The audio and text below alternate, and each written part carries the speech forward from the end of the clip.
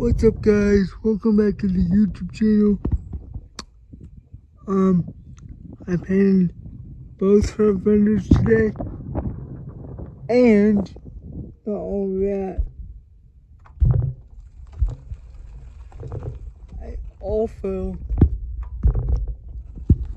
have finished the rear end almost. I put the back bumper on today too. All that's left for the rear end is taillights, blinkers, taillights and blinkers, that's it. And rear end's put together and done. Oh, and I replaced the rear axle as well.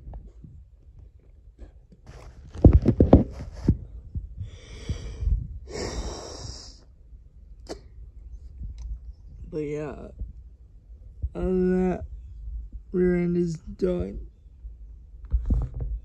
And then I'm starting to put the front end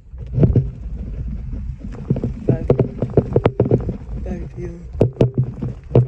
With the and the grill and all this needs is fenders, grill, bumper. Well, it's got fenders, grill, bumper, grill guard, blinkers, headlights. Done. And firewall. And windows.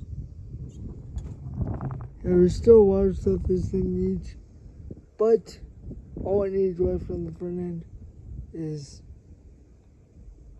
and is front bumper, grill, grill guard, hood, headlights, blinkers, and front end's body is on the truck at that point.